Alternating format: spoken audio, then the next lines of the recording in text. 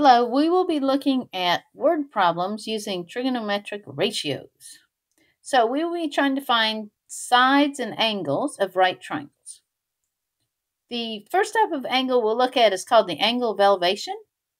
It is a an angle made with the horizontal that goes upward. The angle of depression is an angle made with the horizontal that goes downward.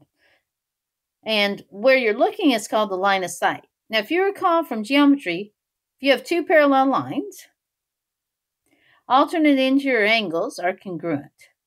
So what's going to happen in the trig is that our angle of elevation will equal ang our angle of depression. So what should we do? We need to draw a picture, label what we're given, look and see which trig function we would like to use, substitute the values, and solve. Number one, if the distance from the foot of the tower is 20 meters and the angle of elevation is 40, find the height of the tower. So here's your 40 degrees. Here's your 20 meters. And the height is here. Now, normally we don't usually indicate or put down the units on the problem because it just makes it a little bit crowded. So using opposite and adjacent tangent of 40 is equal to h over 20. So solving you have 20, tan, 40 is equal to h. So using our calculator, 20, tan, 40 is equal to 16.78 meters. However, that's more precise than the units given, which are whole numbers, so we're going to round that to 17 meters. The angle of depression from the castle, top of the castle to a boat is 25 degrees. If the boat is 50 meters from the base of the bluffs, how high are the bluffs?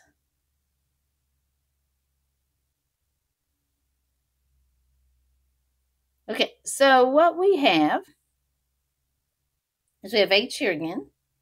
This is 25 degrees, and this is 50 meters. Now, why do I know that? Because the angle of depression would be 25, and those are alternate interior angles.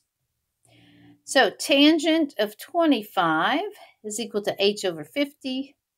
50 tan h, sorry, 50 tan 25 is equal to h.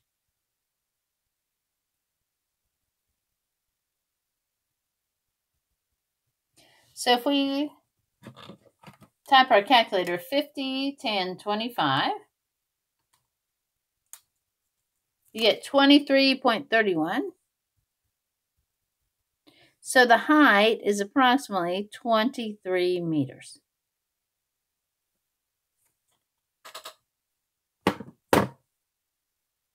Number three, a ramp has an angle of inclination at 20 degrees.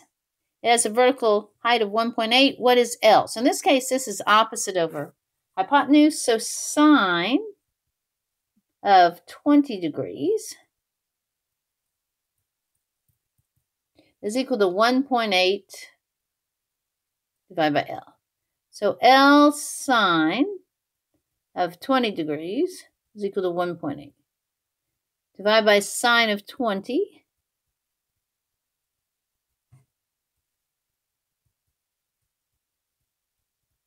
You get L is equal to,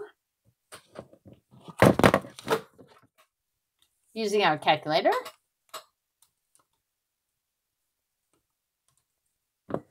you get L is equal to approximately 5.26. So L is 5.26 meters. Now in this case, we'll round to one decimal point.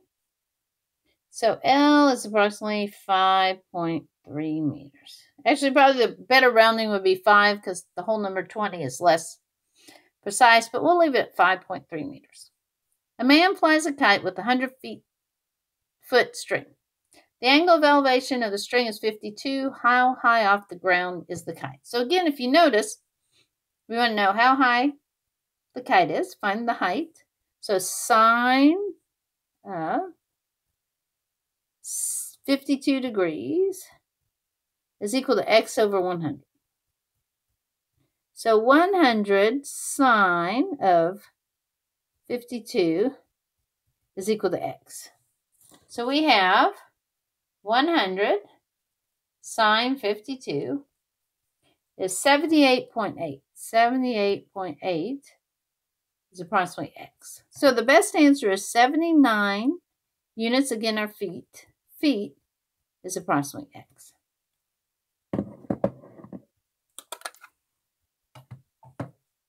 Number five.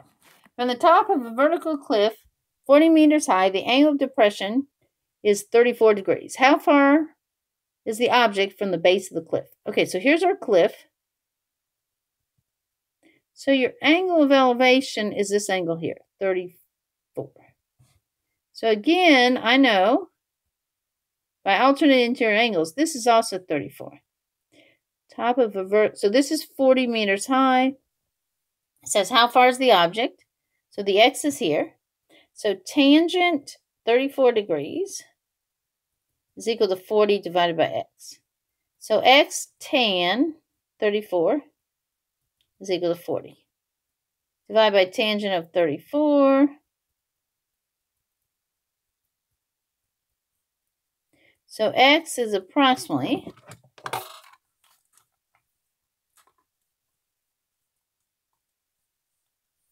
Fifty-nine point three units or meters. So x is approximately 59 meters.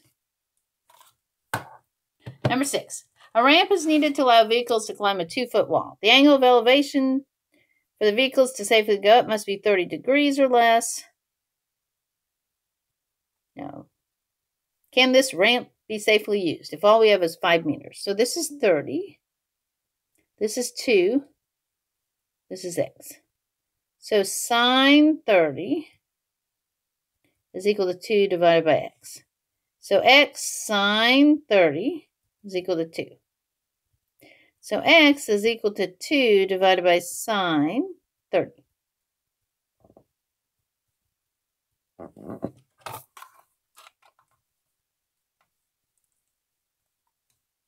Four. So x is equal to 4. So I need a 4-foot ramp. So the answer is yes, because 4 is less than 5. So yes, we can use that because 4 is less than 5.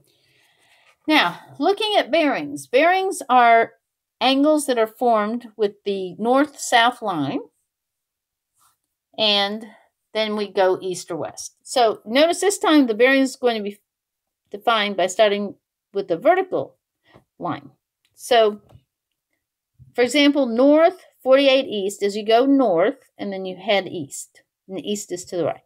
So if I want to draw a bearing that is north 65 west, I'm going to go north, which is up. And then I'm going to go to the west, which is to the left. Let me get rid of that bearing here. And we'll, let's do that in a different color so we can see this. So 65, 45 is uh, halfway. So if I kind of go like this, this would be north and going west. And this is 65 degrees.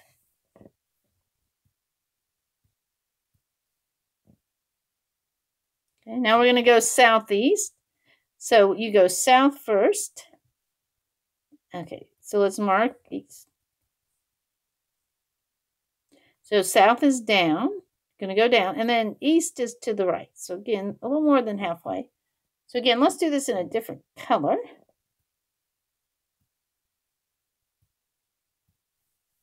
So we're going to go down and then move 70 degrees out like this. So this is 70 degrees. So that's southeast. Okay, draw, again, let's draw a picture. And we're going to go south and west. So here's my coordinate system, and that is to the east. North is up, south, east is right, west is to the left.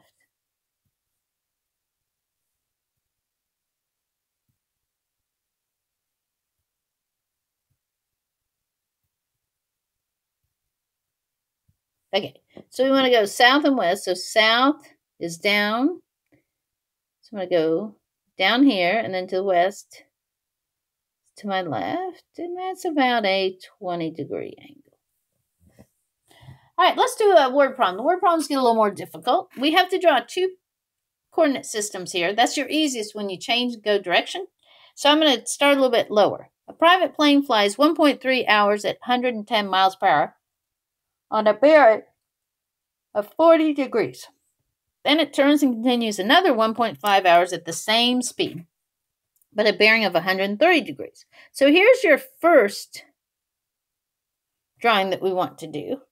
And then the other gives us our second. Well, first let's find our distance. So let's do the first drawing and then the second one.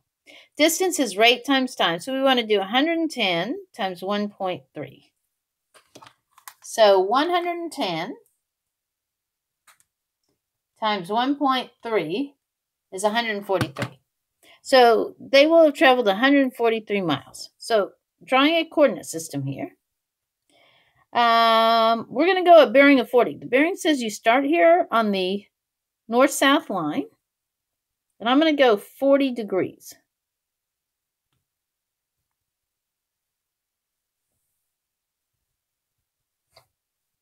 Okay, let me get that back there. So I'm going to go 40 degrees here. My length is 143 miles. Okay. Now I'm going to take a turn. So in a different color, let's figure our distance. So our distance is same speed, 110 times 1.5. So if I do 110 times 1.5, I get 165. So my this time though my bearing is 130. So you're going to go 90 plus 40 is 130. We have 40 degrees here. And this one should be longer because it's 165 is greater. So let's put 165 down here. And we want to know how far the plane is from the starting point, and we want to know what is its bearing. So this is the how, oh, let's do this in a different color.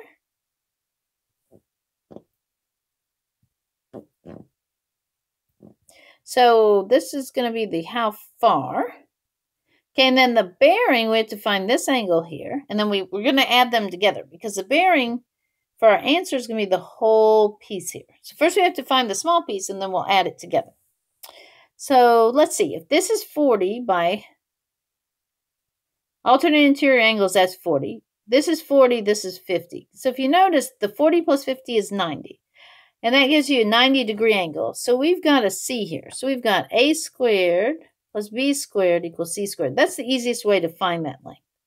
143 squared plus 165 squared is equal to C squared.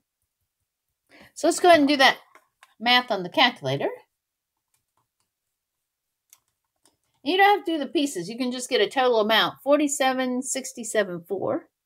47,674.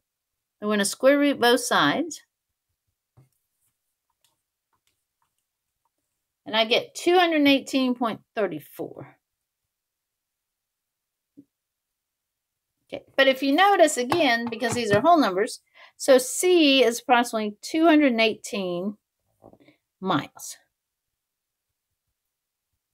Now to find that angle I marked, so I want to find this, let's call this angle B here. So let's see. If I use the original numbers, tangent of B is equal to 165 over 143. That means B is equal to tangent inverse of 165 over 143. Now your bearing, I'm going to write this up here, is equal to the 40 degrees plus angle B, measure of angle B. So if we do tangent inverse,